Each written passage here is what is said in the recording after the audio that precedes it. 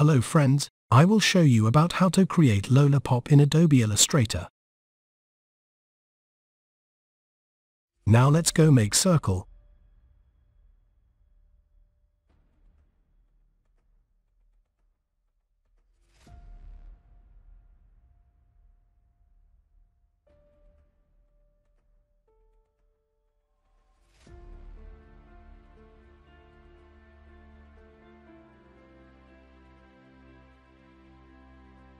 And then select the line segment. Now I'm going to click on the top center anchor point and then hold shift and drag down to create a vertical line.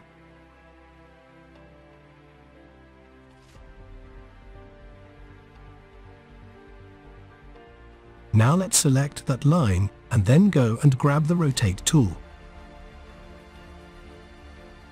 So let's do 360 degrees divided by 3. Again remember to select copy and we can repeat that transform with Command or CTRL plus D. Now we need to make sure we select just the lines and not circle around the edge. And then with these selected, go to Effect down to Distort and Transform and select Twist.